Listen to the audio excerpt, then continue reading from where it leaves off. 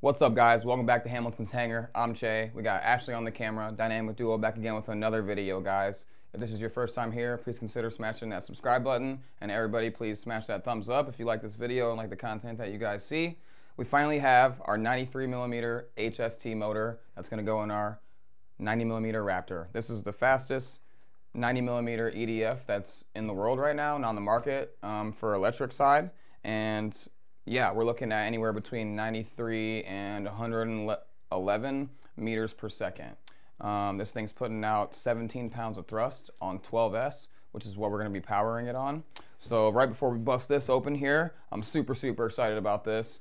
Um, we're going to check out what we're using for our power system. So right here we have our Smooth Flite, which is what we're going to be using to power this up with dual redundancy with two batteries there.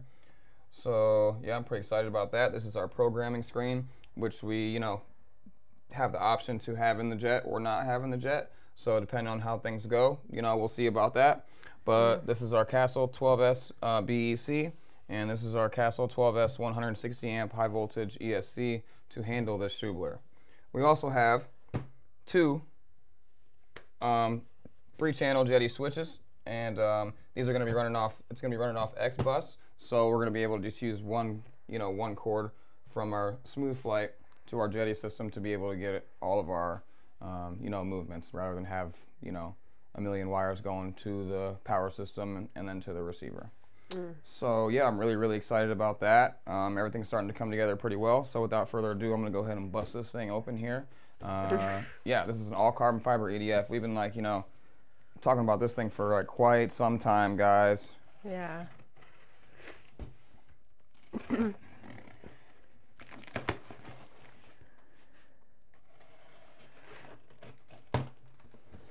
So the reason that I went with 160 amp ESC here is because this thing's putting out about 143 amps. Um, 143 amps, yeah. So this gives us plenty of room here. You know what I mean? Uh, a lot of people go the YAG route on this, but we decided that we're not going to. So.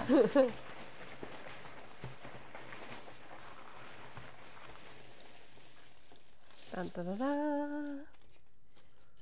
All right. So I did order the uh, intake, the intake ring, you know, for like future use, just in, just as like you know, so I have it. You know what I mean? Okay. Because you gotta buy it um, when you buy the thing. So yeah, that's all I got from there was just this. So I got everything else that I need.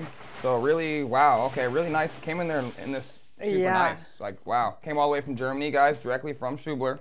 Okay, uh, there is no there is no uh, affiliations right now with anybody at all. So uh, yeah, we buy everything that you guys see. So uh, yeah, our KM models afterburners uh, get sent to us. So, but we're not gonna be able to use one on this because it has a fully integrated motor on here. Mm, So, okay. All right, you ready? Yep. Let's come on over here, reel her out. Come get nice and close. All right, big reveal. Dun, dun, dun. Wow, holy smokes. That looks nice. Uh, wow. Wow. Is that carbon fiber? Oh yeah, I said that. All carbon fiber. Oh, babe, yes, you know, did, All carbon fiber here. Looks really good. You know, aluminum around the edge there. Wow. Yeah. Holy smokes. It looks really good. Wow.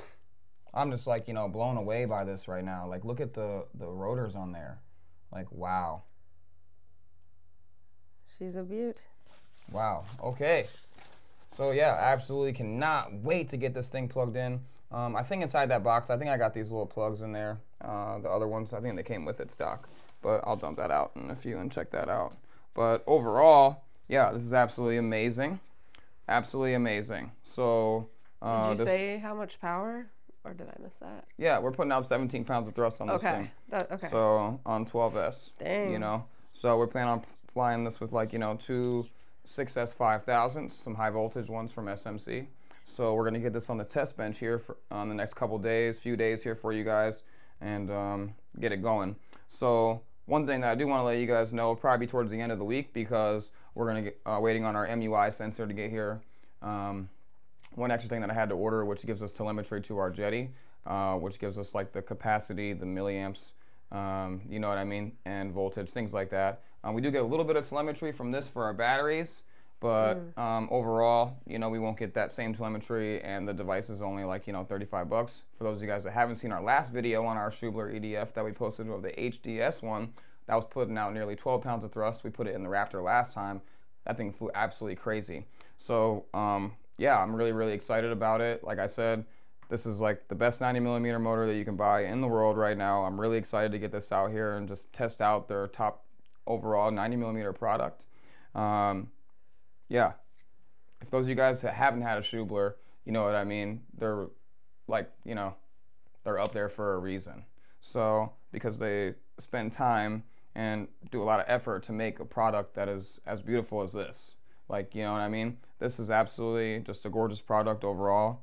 And I'm just like completely blown away by the overall skill and engineering that went into this product. So, because it's different to see something like this online, you know what I mean? But then to actually like, you know, see it and then see what it looks like and then see everything that they are doing to it to make it actually perform what they're saying it will perform. Yeah, that's a good point. You know what I mean? Mm-hmm. Uh, with the turbines, things like that, it's kind of like a more general thing. You know, it's just a, a smaller version of a larger scale. With this EDF, like you know, it's completely different.